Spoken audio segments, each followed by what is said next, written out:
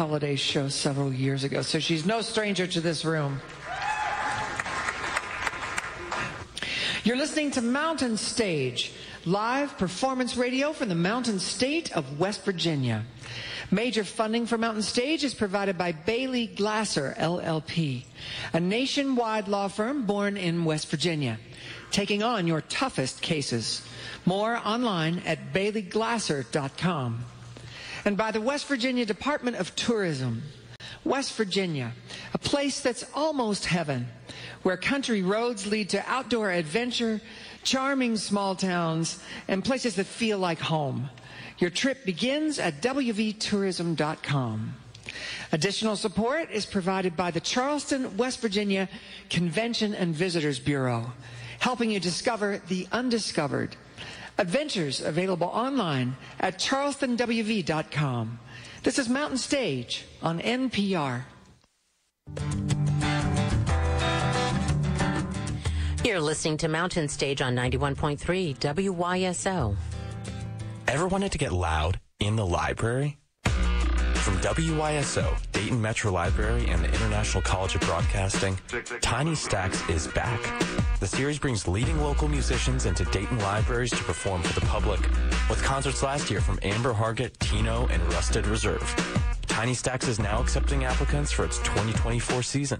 Whether you're a singer, a DJ, a rapper, or the member of a band, you can apply at DaytonMetroLibrary.org slash TinyStacks. The clouds are going to stay with us for the next couple of days and bring in more showers. Mountain Stage continues. Great music right here on 91.3. Join Tangela and I every Saturday night for Creature Features, right here on CATV.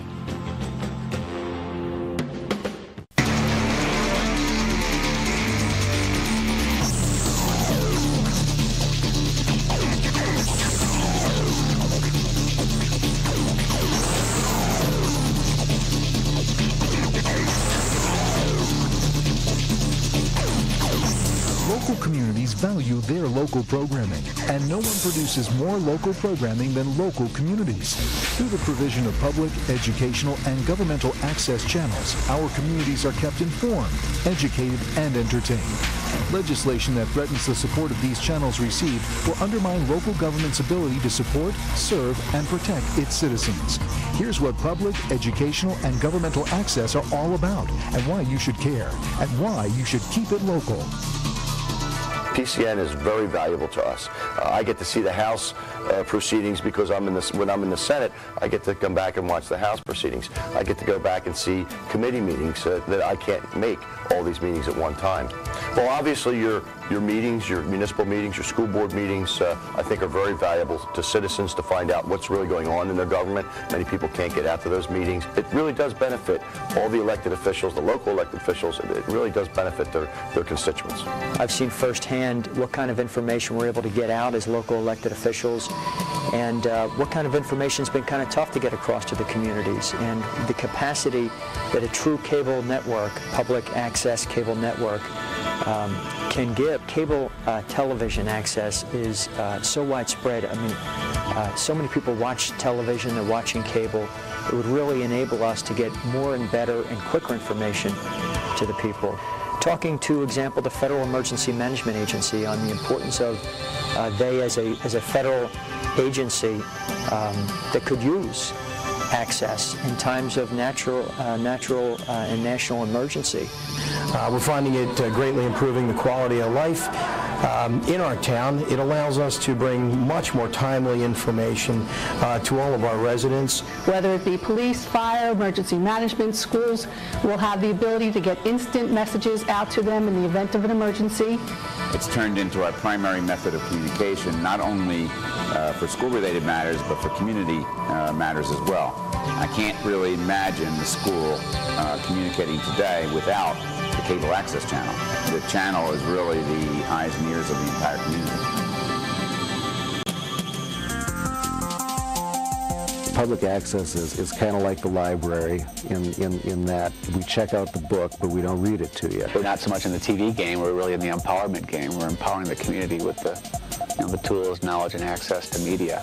And how can that that's how can that not be exciting?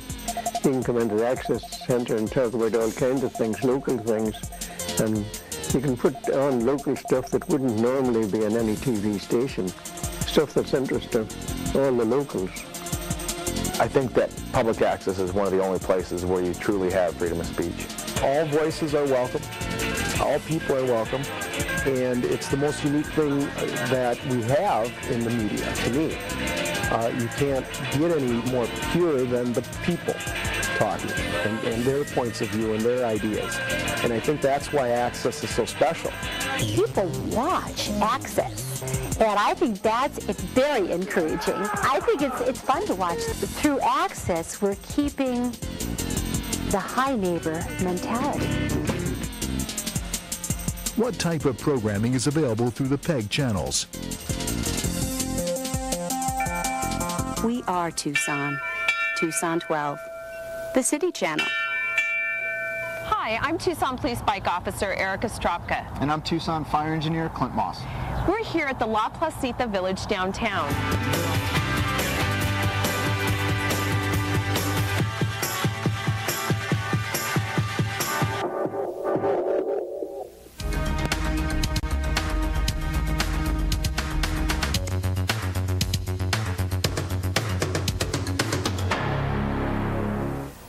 I'm Ricardo Rico, and welcome to 12 Answers, where we ask you to join discussions on the issues affecting our community.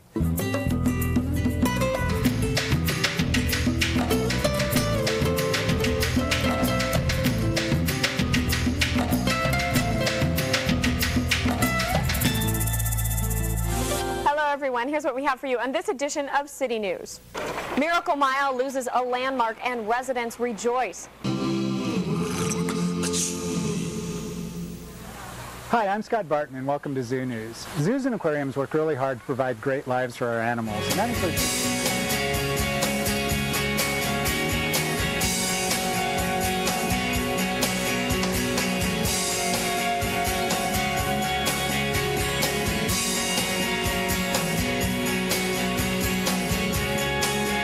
We are Tucson, Tucson 12, the City Channel.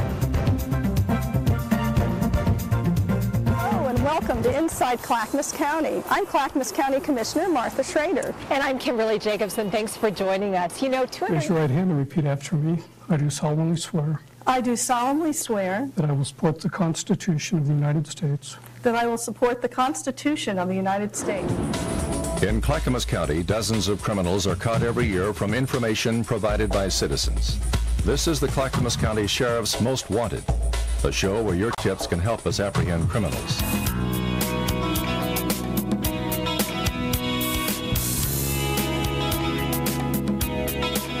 Grab your wine glasses because Inside Clackamas County is going wine tasting at four local vineyards. You're watching the Clackamas County Government Channel.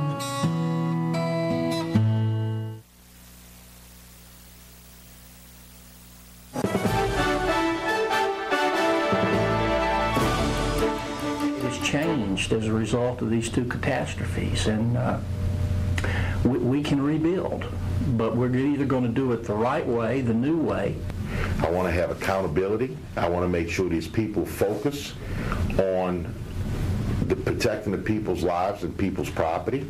EPA is operating in St. Tammany with a household hazardous waste collection and disposal program. 35% of the state's economy has been wiped out. When you lose 35% of your economy, it just doesn't affect our region, it affects the whole state.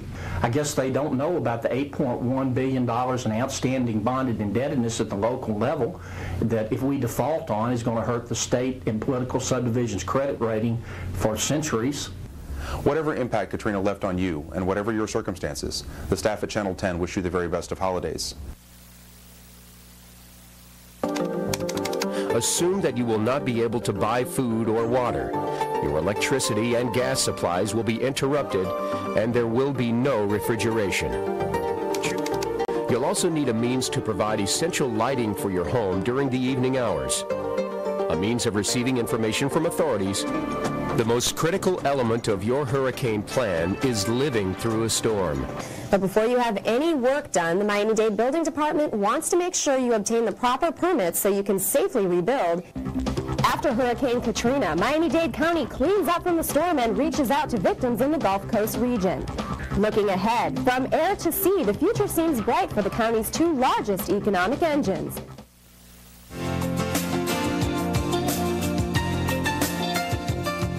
Good day and welcome to Your Congress. I'm Jim Davis. We've developed this program to introduce you to the City of Tampa's recommended budget for fiscal year 2005. Tampa is a city set in an environment of natural beauty. The bays, the river, and the many lakes and ponds. Oh, my shirt slips up and my coffee cup. The funky blues right off my face.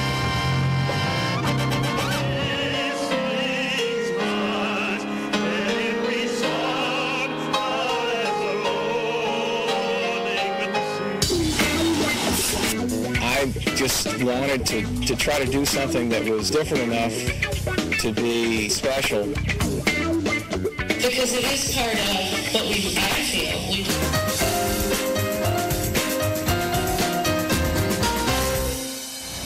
Isamu Noguchi's sculpture Black Sun is one of thousands of public artworks in Seattle. What most people don't know is that Seattle's maritime business is big business. Black Nativity blends community and art together on the stage. Hello, I'm Eric Liu. I'll be your host as we celebrate the opening of our new downtown Central Library.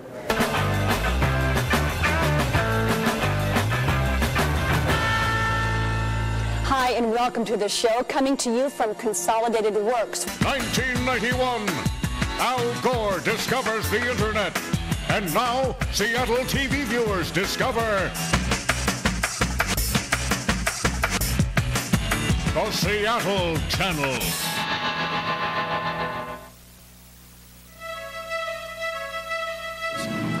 On September 11th, as I ran through the Longworth office building helping to evacuate it because we had just seen the Pentagon explode out my window, I began to wonder what happened if terrorists were to succeed with a nuclear device or another airplane.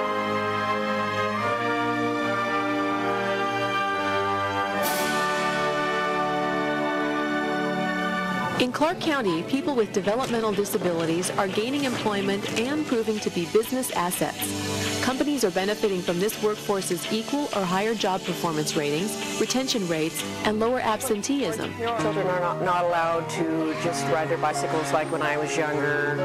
And with TV and video games, it's a very important time, time to be a teacher. Dad followed Billy up and down every single aisle. What kind of bucket are you looking for, they asked. More than 500 boys and girls ages 10 to 18 came together from many of Boston's neighborhoods to celebrate the successful 2004 Metro Lacrosse Spring season. Kathy, congratulations to you and your organization and to the young people here who have really taken a stand against underage drinking. I think David Brudnoy has joined me on the set before to talk about living with HIV, and now he's back in more ways than one. David, thanks for coming back. Thank you, Jen. I'm glad to be here again. We have a We are honored to present the City of Boston's African American Achievement Award for Community Service to Carol Bradley Moore, headmaster of the Jeremiah E. Burke School for outstanding educational contribution.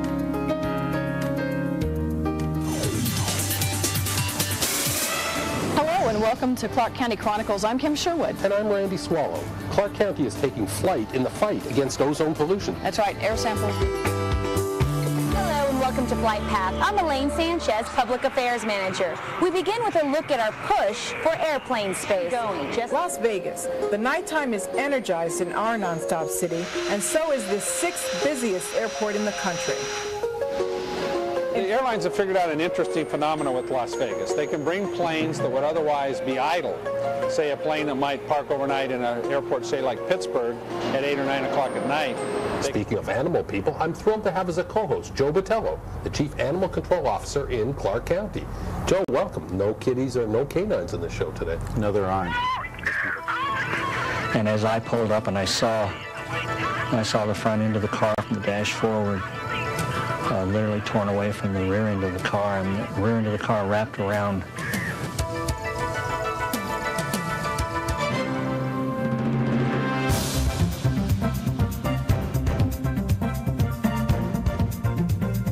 Welcome to this edition of DTV Newsbreak, and thanks for joining us. Your pet can be a star on June 5th at the 11th Annual Dog Days of Summer Celebration.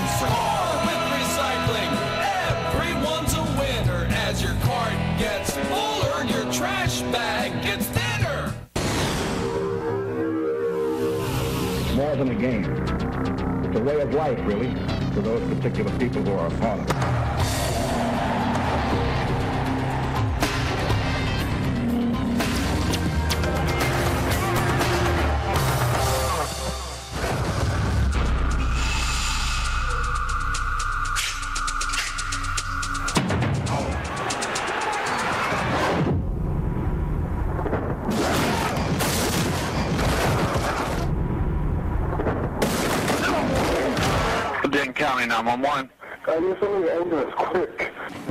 Guidance to um, the people on the other side on how to do CPR. Today was the first time I met the man, and he really is a sincerely dedicated person. From all of us here at DTV Newsbreak, have a great Thanksgiving weekend and a good night. Public, educational, and governmental access channels empower individuals and groups to utilize television to educate and enrich communities on a broad scale. It is a critical tool for local government to provide emergency information to their community. It also allows the public to view its local government at work. Without this powerful tool, communities may be deprived of the ability to provide these important communication services.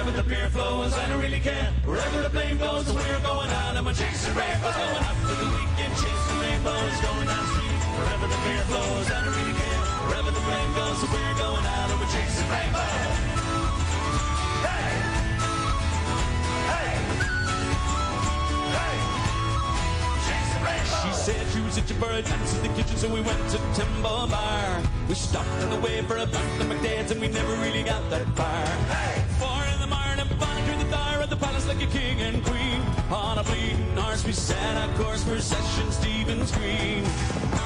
For a session, hey, hey, you know what I mean. We're going out for the weekend, chasing rainbows, going downstream. Wherever the beer flows, I don't really care. Wherever the plane goes, cause we're going out and we're chasing rainbows. Going out for the weekend, chasing rainbows, going downstream. Wherever the beer flows, and I really care. Wherever the flame goes, so we're going out and we're chasing rainbows. Hey! Hey! Hey! Chasing rainbows.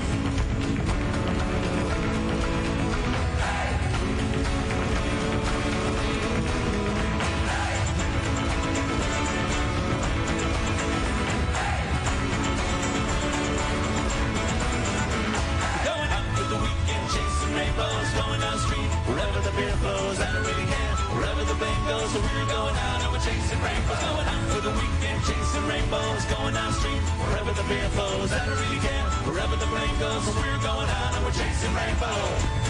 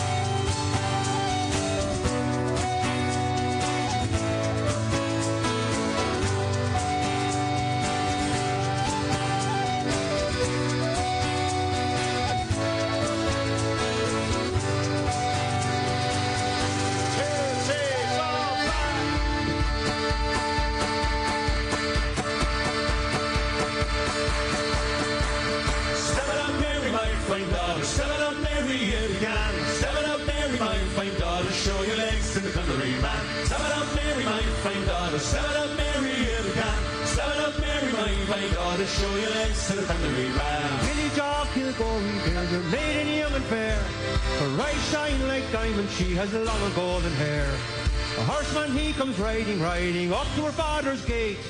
On a pure white stallion and he comes in a strike of face. So step it up, Mary, my fine daughter. Step it up, Mary, if you can. Step it up, Mary, my fine daughter. Show your legs to the man. Step it up, Mary, my fine daughter. Step it up, Mary, if you can. Step it up, Mary, my fine daughter. Show your legs to the country man. Put the to your daughter Mary of the golden hair. I have golden, I have silver, I have gold beyond compare. I'll buy her silk and satin and a gold ring for her hand. She shall have a mansion, she'll have servants to command. So step it up, Mary, my fine daughter. Step it up, Mary, if you can. Step it up, Mary, my fine daughter. Show your legs to the country man. Step it up, Mary, my fine daughter. Step it up, Mary, if you can. Step it up, Mary, my fine daughter. Show your legs to the country man. I don't want your gold and silver. I don't want your house and land. I'm in love with a soldier the spoke of Sharpie, you will do as I command. You'll get married on Sunday and you'll wear that wedding band. So step it up, Mary, my fine daughter. Step it up, Mary, if you can. Step it up, Mary, my fine daughter. Show your legs to the country man. Step it up, Mary, my fine daughter. Step it up, Mary, if you can. Step it up, Mary, my fine daughter. Show your legs.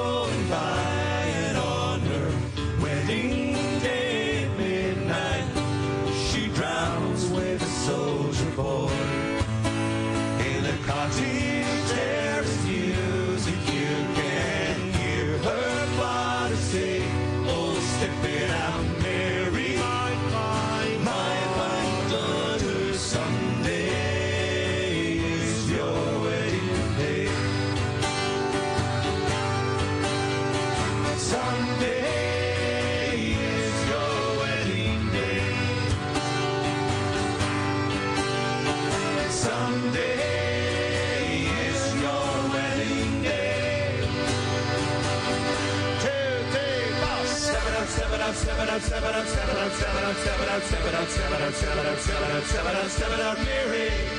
Step it up, step it up, step it up, step it up, step it up, step it up, step it up, step it up, step it up, step it up, step it up, step it up, step it up, Mary. Step it up, Mary. Step it up, step it up, step it Mary. Step it up, step it up, step it up, Mary.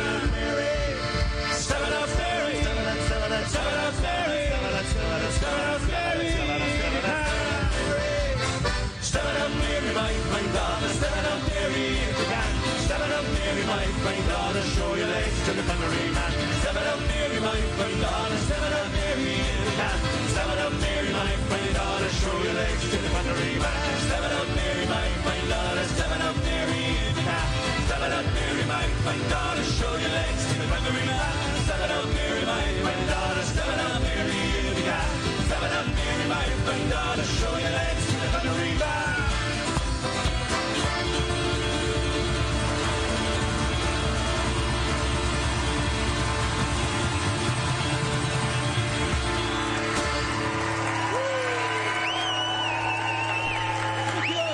Thank you, folks. I think we have time for one more song before we go. And uh, this is one of the most, you couldn't have an Irish sing song without singing this song. It's probably one of the most, if not the most, popular Irish folk song out there. This is Whiskey in the Jar.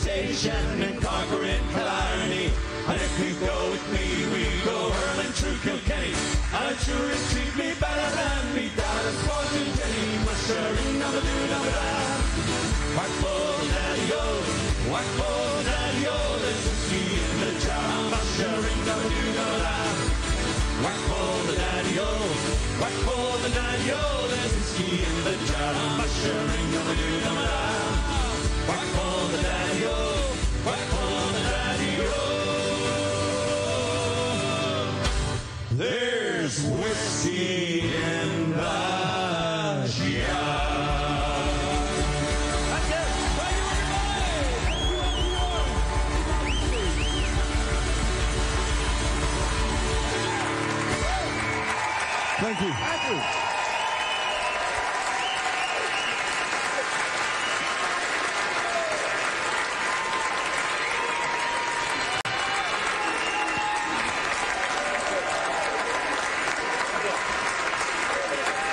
Yes, sir. Yes, sir.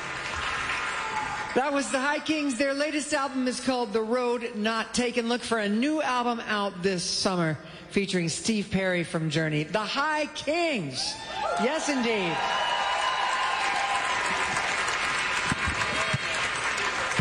Did I tell you you wouldn't be able to sit still? Thank you to the High Kings. Thanks to Catherine Russell, to Kindred Valley. Thank you to Tom Paxton and to the Don Juans. Thank you to everyone here at the Keith Albee Performing Arts Center and to our friends at the Marshall Artist Series. And thanks to you out there listening on the radio because without you, there'd be no mountain stage. We never forget that. I hope you'll be back next week when we are back home at the Culture Center Theater with Calexico, Steve Forbert, David Wax Museum, David Huckfelt, and Anna Mika. Mountain Stage is produced by Larry Groce and Adam Harris. Senior producer is Jeff Shirley. Associate producers are John Ingram and Mallory Richards. We're engineered by Patrick Stevens, Richie Collins, Jim Raines, Brian Hensley, and Greg McGowan. With production assistance by Michael Lipton, Lance Schrader, Chris Mead, Mary Lee, Kelly Lassiter, and Big J. Photographic services by Chris Morris. Promotion is coordinated by Mallory Richards, John Ingram, and Music in Motion Promotions. Special thanks to Mountain Stage members Walter and Sean Williams for their generous support.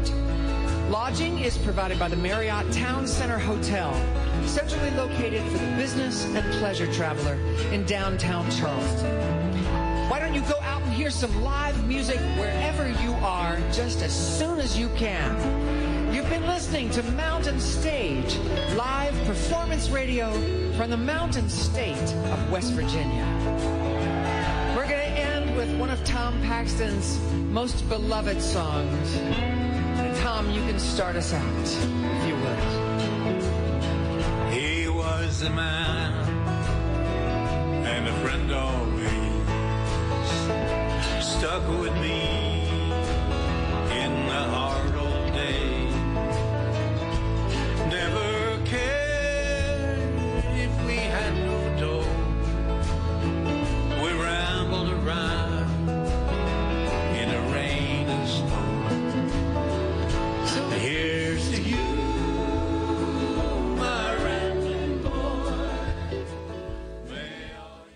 Major funding for Mountain Stage is provided by Bailey Glasser and by the West Virginia Department of Tourism.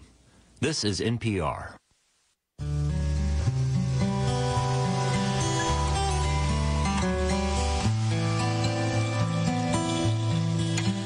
Thank you for sharing part of your Saturday evening with us. You're listening to 91.3 WYSO. It's jazz and country, blues, pop.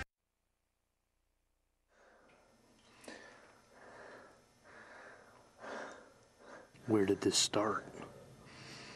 How'll this end? Why did it have to go in this direction? Do I love her? Is this a problem? Does she love me? Be helped. Why am I? Am I losing my mind? Is this sadness? Am I okay? Did I do something to you, God? Am I depressed? This mental state. Why did I have if to I am in depression, I have to if, how do I get out? Why am I here now? If I don't, do I keep myself in depression? Do I need help? Why do people always go away on me? Or am I doing this myself? Why does she make me feel? Or is this the product of a natural shift? Why didn't she listen to me? Where did this start? What did I do to sleep?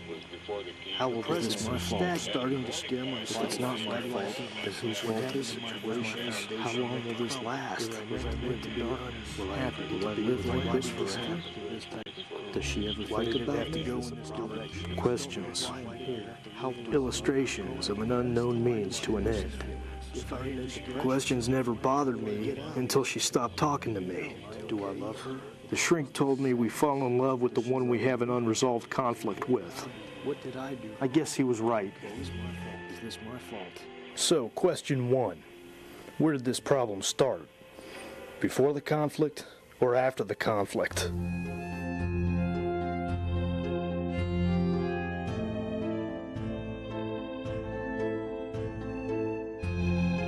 First day of winter quarter. I see her for the first time in a class I don't care much about, but have to take. She's a goddess. The only thing in the room that matters. I don't know her. She doesn't know me. We're a clean slate, so I sit next to her. I make eye contact. Let her know my door is unlocked. By the end of class, I get the smile and the look. That special look. The one that lets you know your attention is greatly appreciated. Two weeks, four classes later. I'm a champion. She's always happy to see me. Smiles, the looks, the contact. She's amazing, and I'm so unbelievably giddy. Have I even looked at the syllabus for this class? The winter sky is getting colder, but I have nothing but warmth to look forward to. All signs point to the next step. Come next class, I'm asking her out. now, this guy's something else. Like a statue, he stands perpendicular to me. He doesn't move a muscle, but his eyes follow me as I pass him. I hear him follow me, and I hear him faintly speak. What do you think you're doing? Excuse me? You better stay away. I take this guy to be one of two things. He's either one of those many eccentric drama students parading around the university in character, or he's just some guy who seems to know me and has a genuine problem with me. I go with my first opinion. She's sitting in her usual spot. My intentions begin making me nervous. The guy follows me into the classroom. He's really beginning to annoy me. He continues his jargon, and the confusion gets thicker. Who do you think you are? You better watch it. Okay, are you joking? Do I know you? You just stay away. Confusion is whimsical today. I know what you want. Some of those fine cookies they got next door. I saw him the first. I started, yeah. I sit down. Next to her, of course. No, she can't know him. Who is this guy? Do you know him? Who is that guy? He just came up and started talking to me. Okay, guys, it's time to get started. Get to our seats. Class starts. We have to be quiet now. I'm a little disappointed in the turnout of the last test. They gave all What did he say to you? I don't know. I couldn't tell what he was saying. I could barely hear him. He seemed mad, but I don't know. This has got to be the weirdest day I've ever had. Since a handful of people got A's and B's, I don't think it's necessary to implement a curve. He's my If any boyfriend. of you need to see me about the results of your test, don't see me during the office hours. For all of you who scored a C or below, I don't know what made me angrier. The fact that she had a boyfriend, or the fact that he happened to be something out of the Twilight Zone. Question two. Why did she move to the front of the room by the next class? Question three. Why is she now avoiding me? Question four. Did I do something wrong? Everything was perfect. This wasn't supposed to go in this direction. Which question was I on? 5, 10, 27? It's been two months. Next question. Why is she still on my mind? I barely got to know this girl, yet I'm dying to talk to her again. But I know I can't. So how do I satisfy this feeling? First day of spring quarter. She's in one of my classes again. Is this fate? I get to see her for another two and a half months? She sees me. I want to say hello to her, but I can't. No smile, no comforting look from her. She's on my mind more than ever. I want to learn everything about her. The more I learn, the more obsessed I become. Well, dude, she rode her bus. She only lives right down the street from her folks. So I had an address, a place near home, a place to drive by and catch a glimpse. Hopefully she'll see me. Maybe she'll wonder about me. She has to. After all, what we had was good. Weeks go by. She still sits in the front, never looking at me, never noticing. After class, I watch. I follow, far enough behind for her not to notice me. All I want to do is talk. The obsession gets stronger. I can't stop thinking about her. She's so beautiful and so perfect, and just, I can't get her out of my mind. She's just a person. There's no reason why you can't try talking to her. He's right. No more dawdling. I'm never going to get satisfaction if I don't bring closure to this.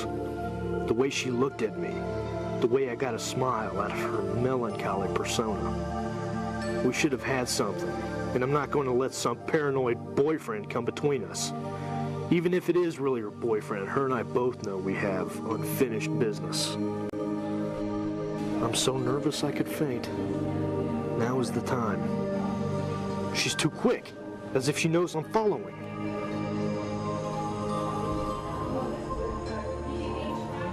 She makes it out the door. I feel like I'm running a marathon. She's about to turn the corner. Hey, Karen! She hears me. Our eyes meet again for the first time in ages. Until this point, only the dreams gave me complete and isolated attention from her. But now I'm not dreaming, and time stands still. Only now her face is different. It's not the look or smile I craved. It was total fear. My boyfriend is waiting. That should have been the last straw. Any sane person would have given up long ago.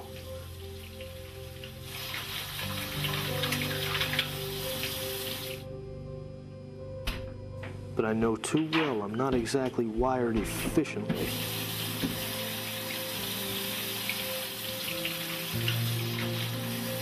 All I did was make it worse. The questions, the dreams, desires, the anxiety, all of it hit me harder. Where are you?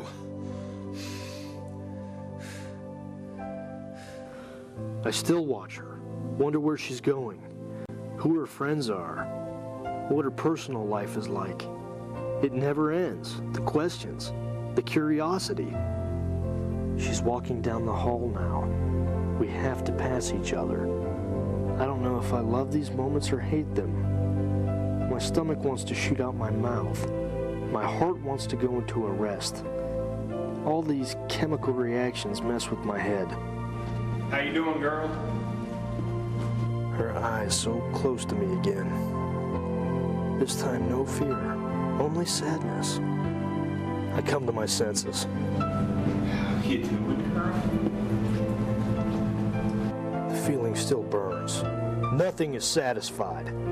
There is such an impulse to be where she is. I drive by her house. She's never outside. There's never a place for us to be at the same time. She's not on the internet. No clubs, organizations, no personal web pages.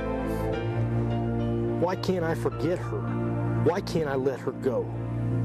Every time she's near, everything stops. Nothing else matters. She has such power over me, yet I know nothing about her other than a few weeks of euphoric bliss. Bliss that just stopped, and without warning, without reason.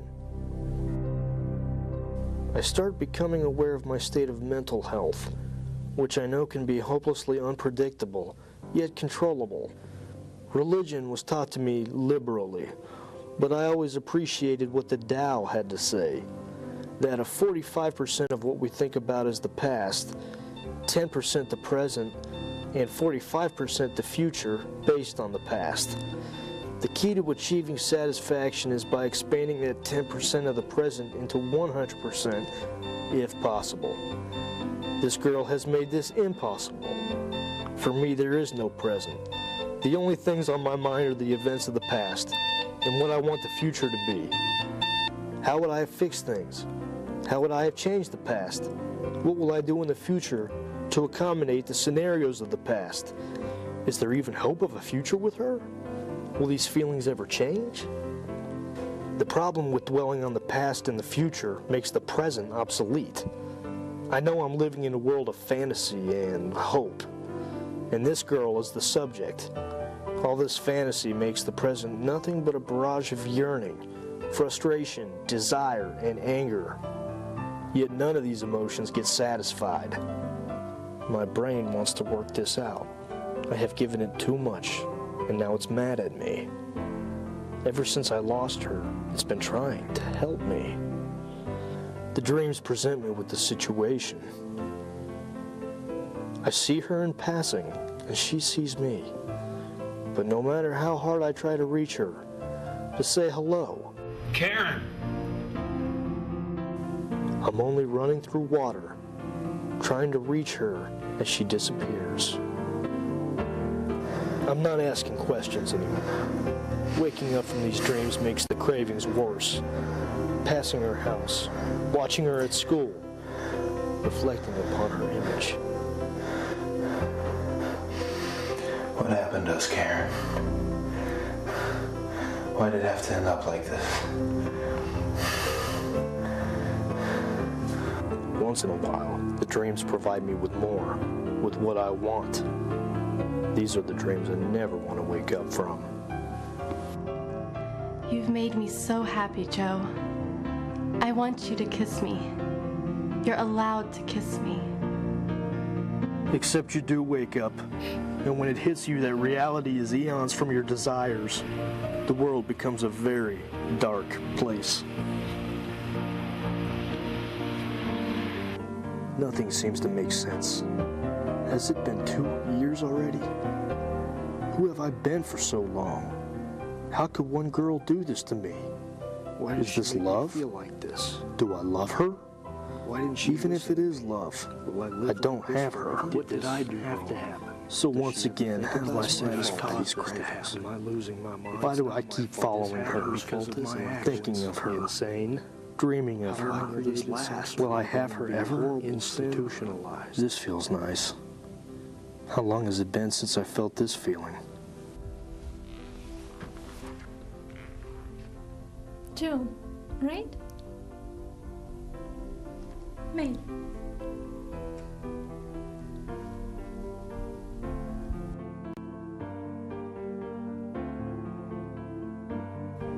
Your drawings on display, the Creative Arts Center.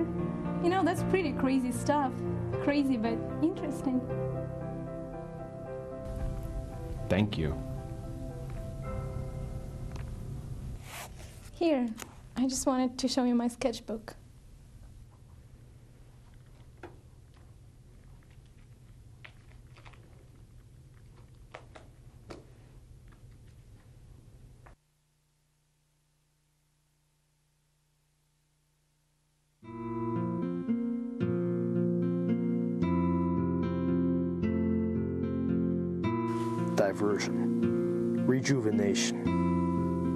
Questions remain unanswered.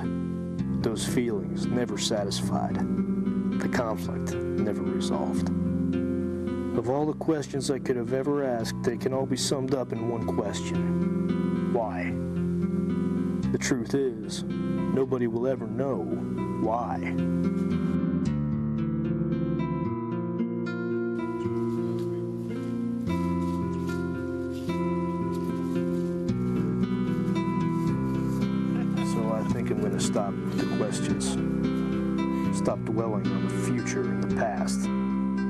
Because right now I could not be in such a better place. She could stay or she could leave. But worrying about where she's going to end up just isn't worth the anxiety. So I'm going to play my cards. And I'll let her play hers. She could leave, but at least I'll have this memory. Some conflicts just weren't meant to be resolved. So I'll do my part.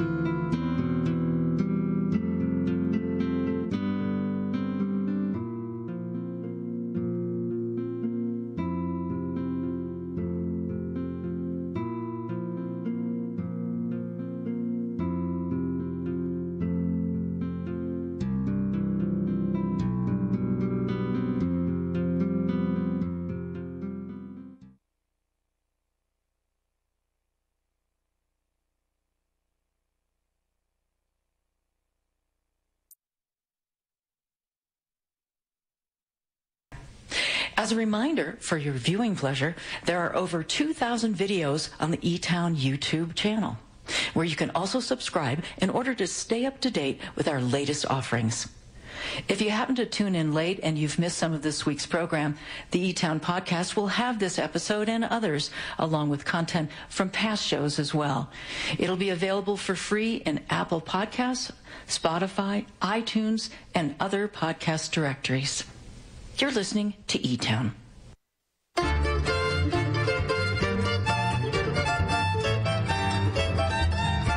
Hi there.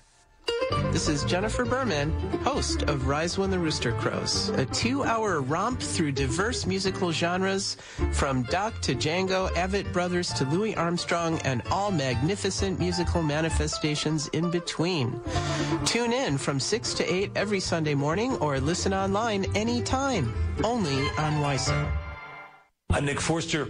This is E-Town. Patrick Watson and his band are going to be back later on the show. And coming up, singer and songwriter, also from Montreal, Basia Bulat is here. Um, lots more music in a bit. But before we bring back uh, the musicians, I want to tell you about what's coming up. Every week we get a chance to share a story of somebody that we heard about from listeners around the world, around the country, who tell us about people in their communities who are doing outstanding things across a variety of fields. Usually these are volunteers who look around, they see an issue, a problem, they try to address it in their own way, and always these stories add up, big things happen. So it's a great reminder that individual efforts do add up. We get to recognize these folks with the Achievement Award, and here comes Helen Forster to tell you about this week's winner. Thank you, Nick. This week's story is one of hope and a real can do attitude. Brandon Dennison was born and raised in West Virginia. His parents were college teachers who provided a comfortable childhood for him, but he was always very aware of the poverty that existed all around him. While studying history and political science in college, he learned about the economics of his home state and how its dependence on the coal industry had, over the years, created deep challenges around increasing unemployment and problems related to that in terms of health, housing, and job opportunities. We knew that people wanted to work, but needed help finding new ways to support themselves and their families. Eventually, he devised a plan to provide education, on the job training, mentoring, and jobs to folks in the southern part of the state, many of whom come from situations of long time poverty or have worked in the coal fields but have lost their jobs to automation and shutdowns. Now, Brandon's here with us to tell us more, so please welcome this week's Achievement Award winner, Brandon Dennison of Wayne, West Virginia.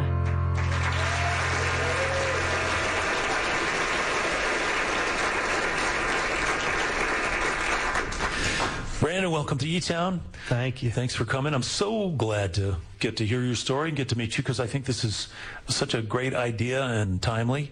Um, Helen mentioned that you're working with folks in southern West Virginia. Tell us a little bit about what their life is like and what kind of people you're serving.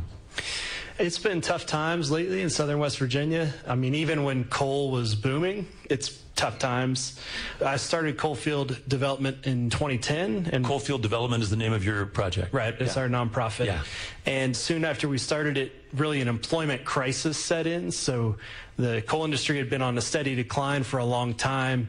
Then several factors came together and the bottom just fell out. And we had unemployment literally like what we had during the Great Depression. It was just an economic crisis. And so we're trying to find creative ways out of that.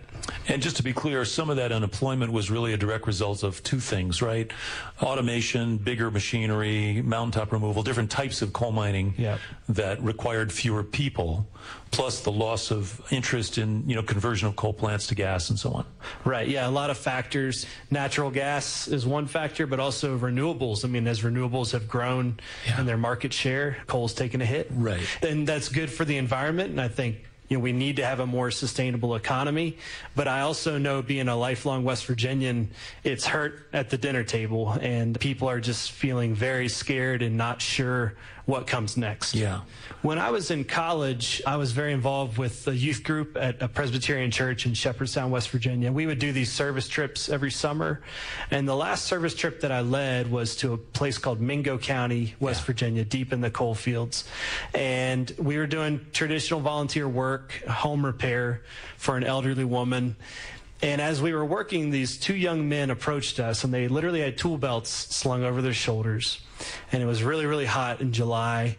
And they asked us if we had work available. and I explained that we were just volunteers, and they kind of went on their way. And it could not have been more than a two minute interaction, but I felt like that completely summed up our situation in West Virginia, which is we have people who want to work, love to work, and want to be a part of something and want to contribute, but our economy's gotten so messed up that there's nowhere to really apply that gumption. Yeah, and those guys actually had some skills, it sounds like, if they had a tool Absolutely. belt and they knew what to do. Absolutely. Yeah. We have a lot to offer. And in many ways, the whole modern economy was powered by coal.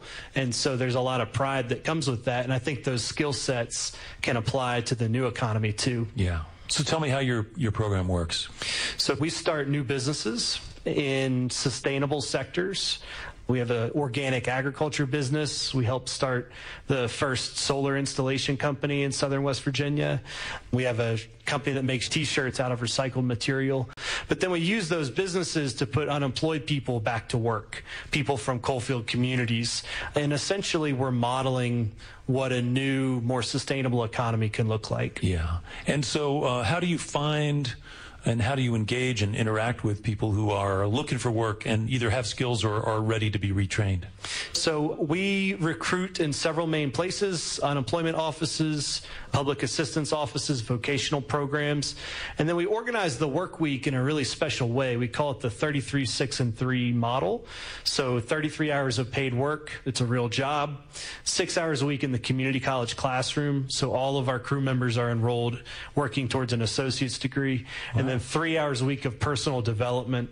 Ultimately, we're trying to deal with generational poverty cycles, and that's complex, and there's a lot to that. And so we're carving out three hours every week to go deep, to earn people's trust, and really knock down those barriers to a full life one at a time. It's a major commitment to make it all the way through. In case you just tuned in, you're listening to E Town. I'm Nick Forster. I'm here with this week's Achievement Award winner, Brandon Dennison. So, um, three hours of community development. Is that about sort of like fundamentals of finance and how to balance a checkbook? and- Exactly right. A lot of dealing with money, getting healthy, you know, Yeah. physically healthy, mentally healthy, emotionally well. Right.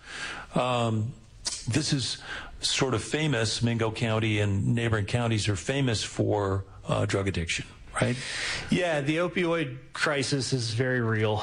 And really, it's not that we're any more predisposed to be drug addicts than any other place, but it's a sense of helplessness. Poverty and desperation. Uh, yeah, right? can Yeah. set in. And so that's where that comes from. And so some of that time can be spent in either drug counseling or rehab or whatever. Yeah, we have a special partnership we call Reintegrate Appalachia, which is, you know, even when somebody gets clean, getting back in the workforce can be a major barrier. A lot of times there's a record. And so we're kind of a creative, passionate, patient bridge back into the workforce. So now you've been at this a while and there's some success stories in the communities and so that breeds success and people tell stories about it. Do you have more people wanting to be in the program now than you can accommodate? We do. We always have a waiting list. Uh, our model is very effective. It's more effective than a lot of other job training programs because it's actually a job too. A lot of people can't put their life on hold to get trained Right. for several months. But because these are real businesses, we can't hire every unemployed person, unfortunately. Um, how is it when you speak to those folks, knowing what I know about you, convincing them that this is the future? Is there an obstacle to solar panels and, and all that stuff? Sometimes there's some skepticism, but the main thing is former coal miners, it's proud hands-on work. And Yeah. so they don't want to work in retail or service. They want to do work they can feel really proud of. And a lot of times I think coal communities are thought of as like collateral damage in this shift to a more sustainable economy. And I believe we can be the leaders in the shift to the more sustainable economy. We have the hands-on skills that are going to be needed to retrofit buildings to be more energy efficient, to put strip mine lands back together to be productive ecosystems again, to install the solar systems on the roofs. We know how to do those things in West Virginia, and we have a lot to offer to the new green economy. That's so great because I don't think that's something many people would think of. They think of West Virginia as being stuck in this cycle of an old economy, an old energy economy, and lack of education, uh, lack of opportunity. So you think this could actually be leaders in the sustainable, renewable energy economy? Absolutely. And, and the solar company, you know, that we helped start started in a used ice cream truck as the tool van, and now there's 42 employees, and they have more work than they can handle. And I'm very optimistic, but even by my standards, growing up in West Virginia, to think that a solar company could take off in my lifetime, it's very encouraging. That's really cool. When did you start all this, Brandon? 2010. 2010. So, how many people have been impacted by this so far? We've trained over a thousand people, and we've literally created hundreds of jobs. Yeah. Wow, that's amazing. Congratulations. And you said that um, you said that the organization that you started is called Coalfield Development, and it's a nonprofit. Yep. And is there a website if somebody wants to check it out? Coalfield-development.org. Coalfield, C O A L F I E L D hyphen development.org. Yep. And there's pictures and examples, and you know people can see what you're doing. Or if they want to support you, obviously you're a nonprofit. Do you rely a lot on donations and grants to We do your do, work? yeah. It's a blend of our earned revenue from our businesses and donations for the personal development. Does the state of West Virginia support your efforts too? Just like Canada would if you were in Canada? you know, it's funny because I've. Uh, Moving on. Played a lot of music.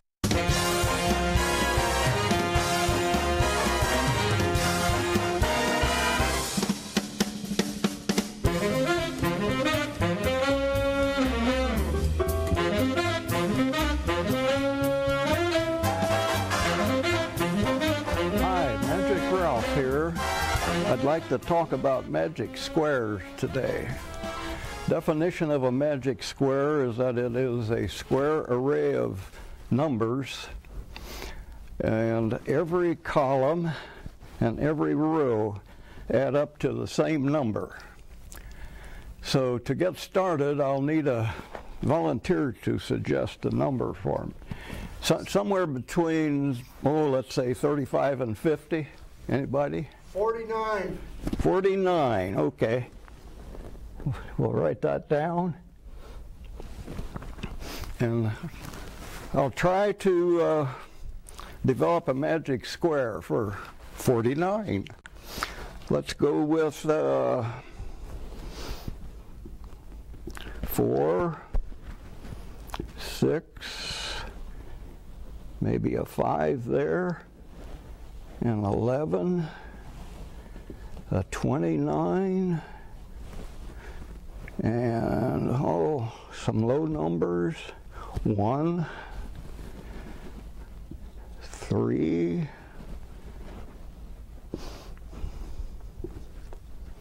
thirty, eight, ten, nine,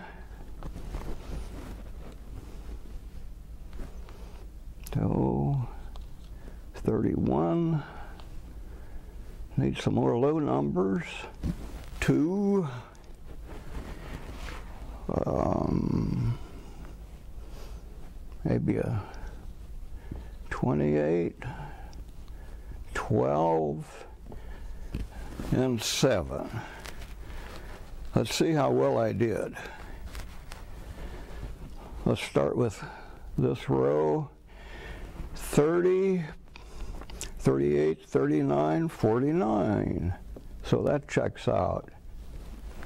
29, 30, 42, 49. That checks out. And I'll leave it to you to check out the other two rows.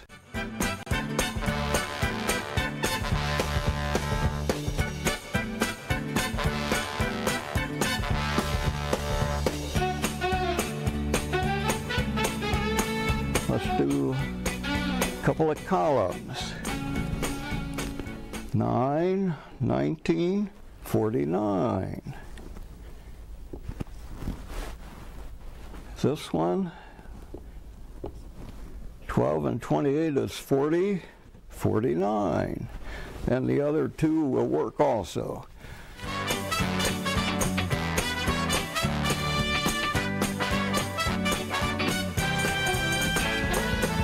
So that is, by definition, a magic square.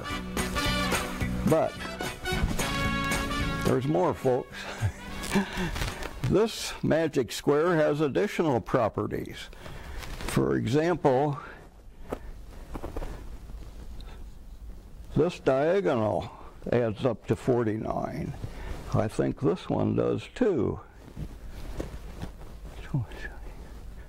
29 and 11 is 49. So both diagonals add up to 49. But wait, there's more. If I do the four corners,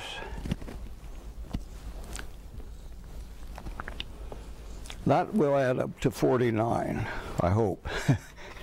20, 49, yes. If I add up the four numbers here in the center, 38, 49, they all work. There's even more. For example, if we look at uh, a 3 by 3 block, take any 3 by 3 square, 29, 31, 41. Does that one not work out? Okay. They 29, 39, 49. Okay, that, that works too. Another three. In fact, all of the 3 by 3 squares have the property that they add up to 49.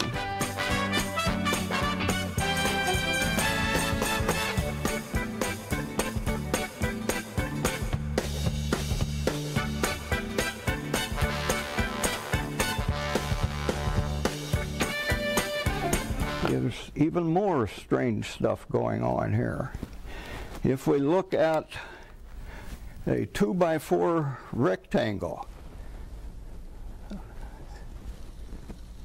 something like that.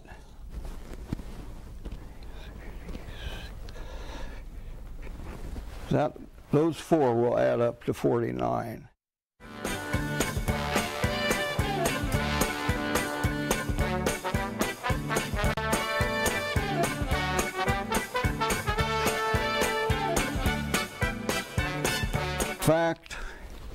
I have uh,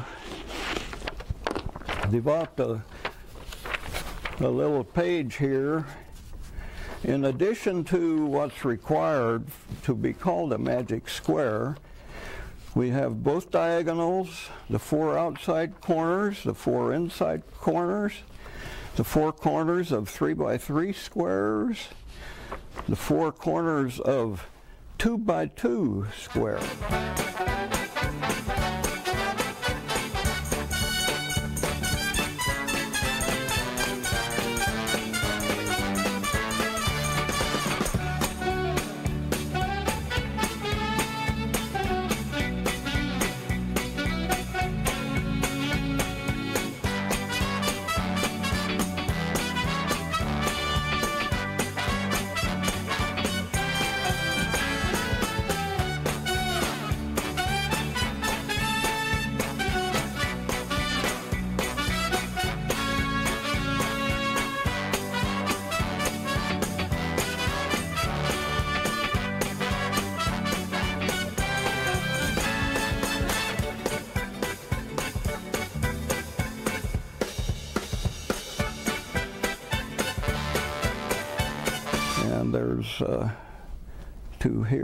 And two, two here.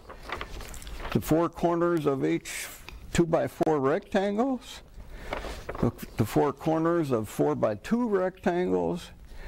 If you total it all up, we have a total of 26 sums to the requested number.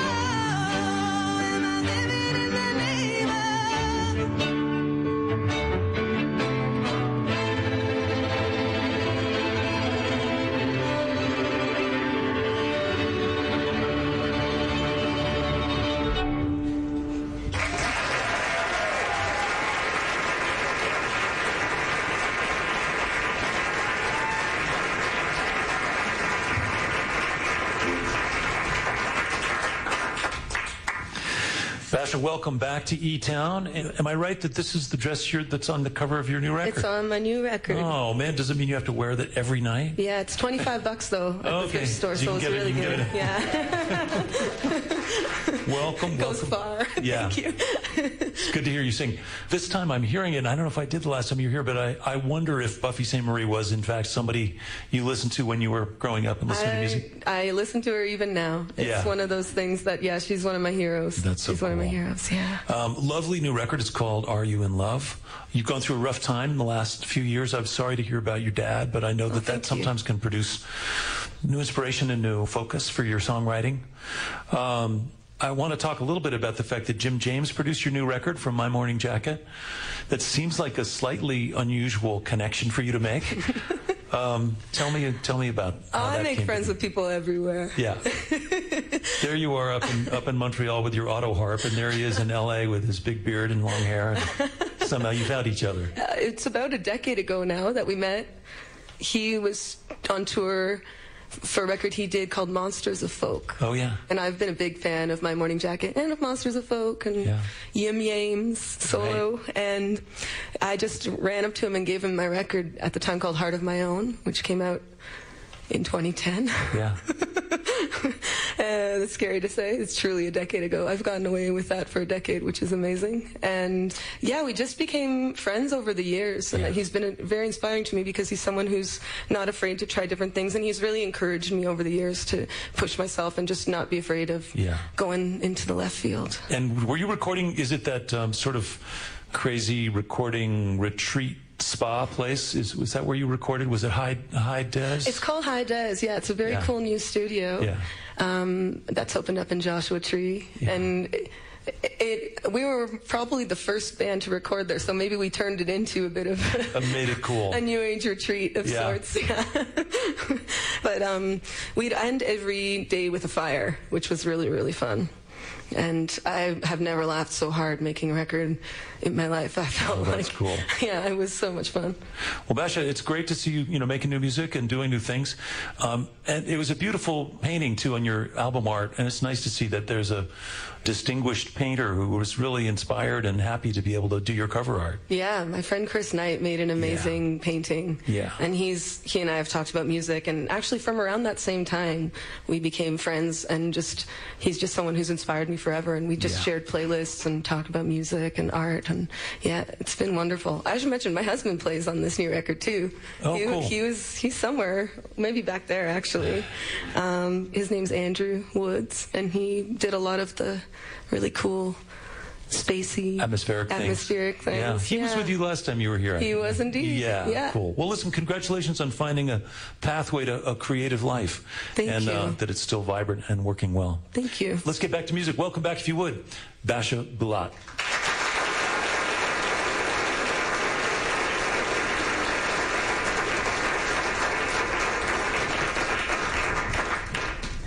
Um, I decided while I was out in the desert to try and write a song about the most difficult topic I could think of. And for me, that's forgiveness. I don't think it comes easy to anyone all the time. So that's kind of where I was working from when I started this one.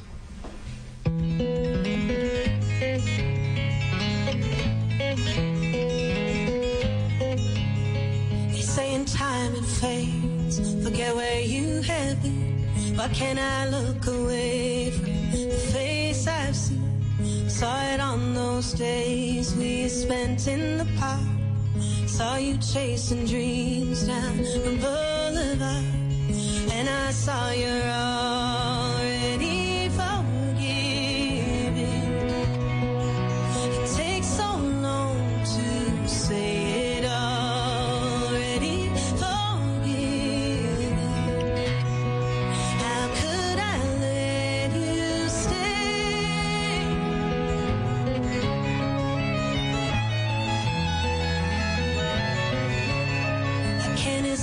my name, and I don't even try. When my body's tired of drinking bitter wine, when the cup it breaks in my hand each time, how the cup it breaks in my hand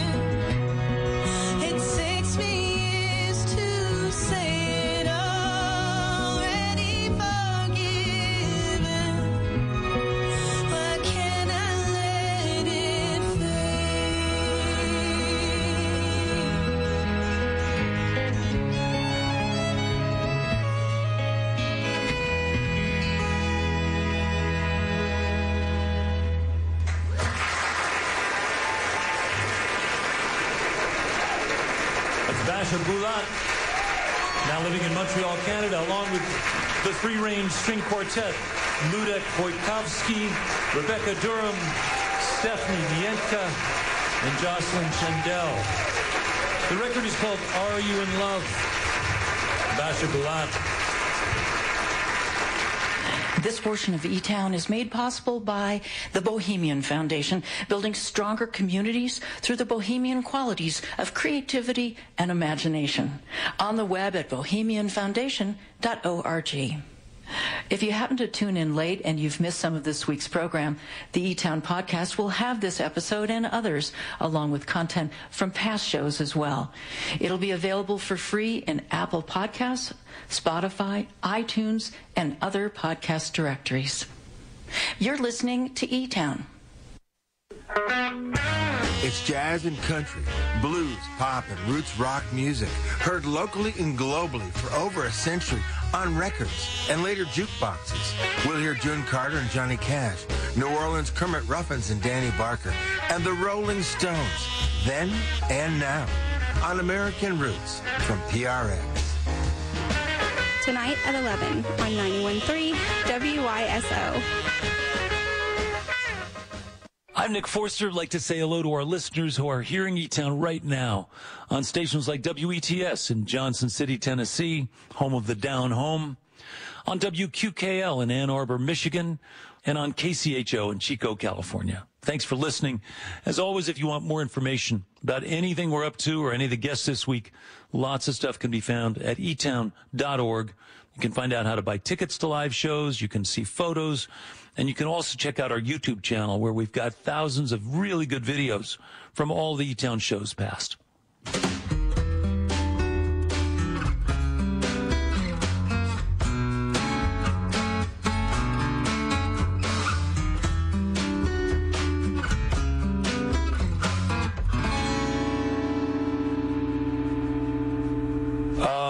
So so far pretty good, right? Patrick Watson, Basia, and the and a great award.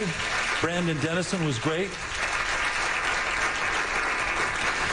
Meanwhile, we have lots more music to get to. Would you help me right now? Welcome back along with his band, Patrick Watson.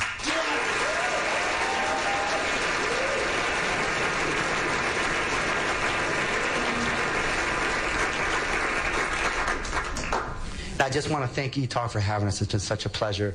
What a pleasure to come play music here, so cheers. Here's your rules.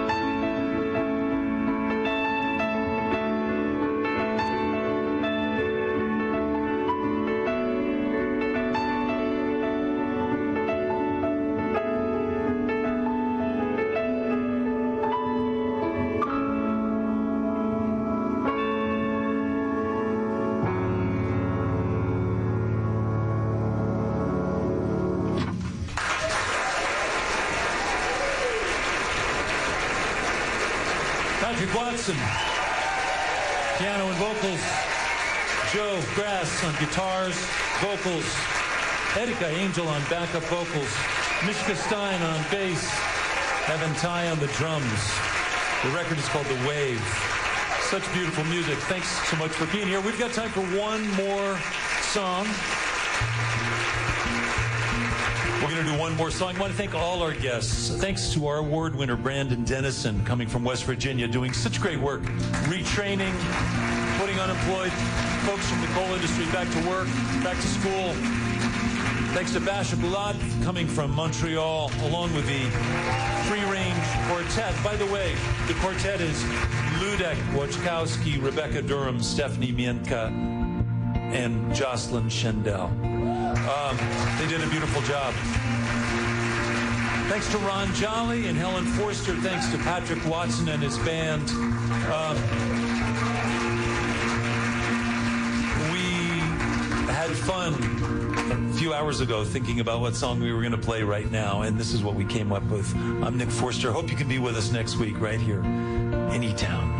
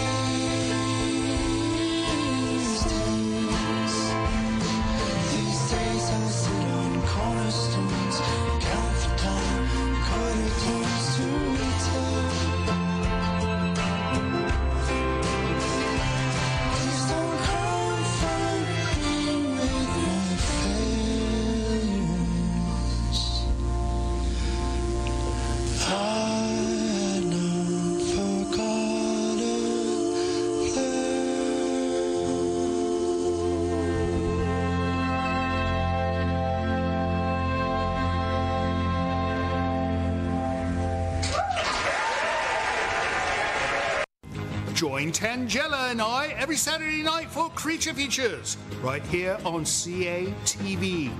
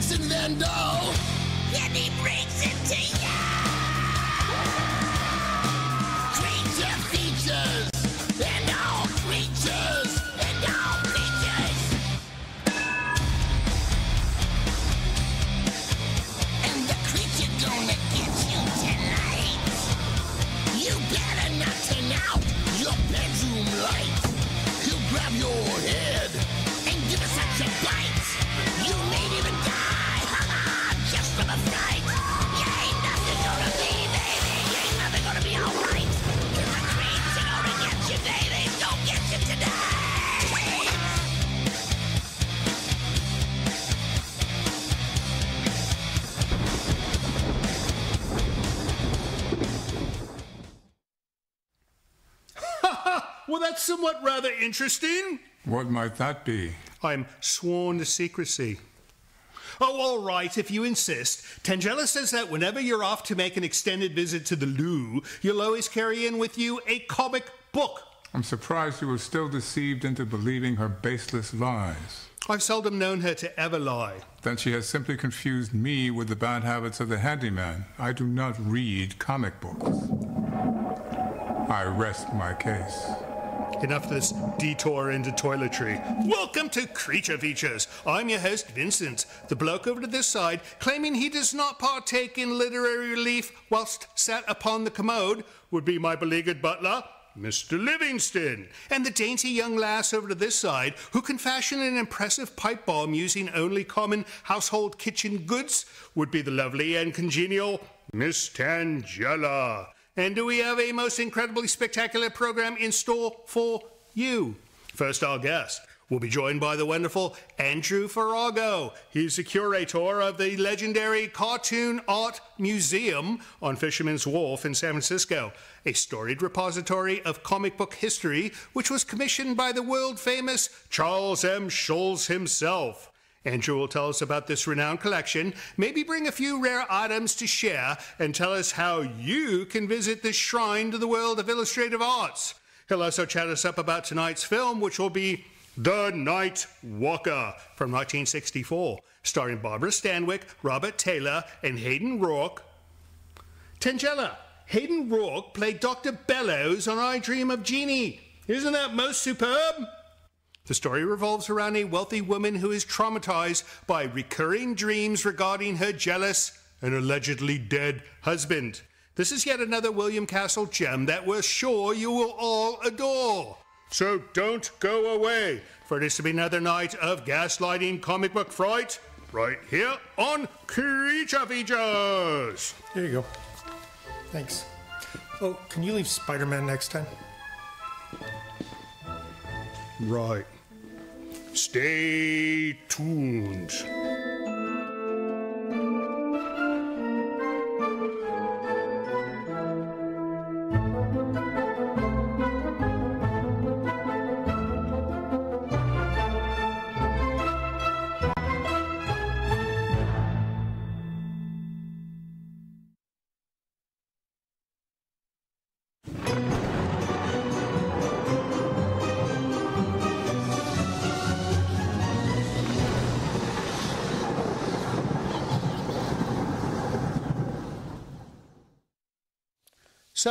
Andrew, do you know that if people were not watching our program and instead switched over to channel four or eight, they could watch King Kong?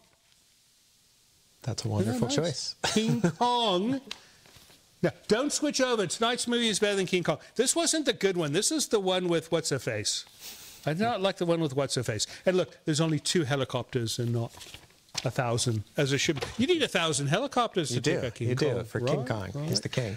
Welcome to the show, and welcome you. you. to the show. We've got Andrew Farago. Is that correct? That's correct. Andrew 100% correct. You are the curator of the Comic Book Museum, The Cartoon Art Museum the in San Cartoon Art Museum, Yes. San Francisco.